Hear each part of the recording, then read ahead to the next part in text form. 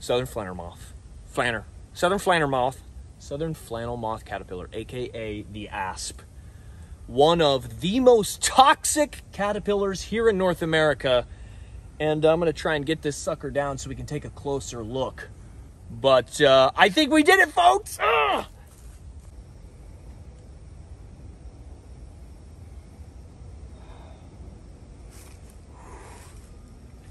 Lollipop, lollipop, oh, lolly, lolly, lolly, lollipop. Kidding.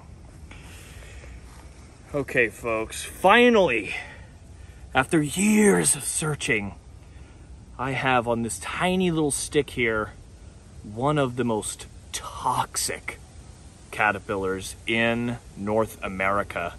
This right here is the southern flannel moth caterpillar, aka the asp.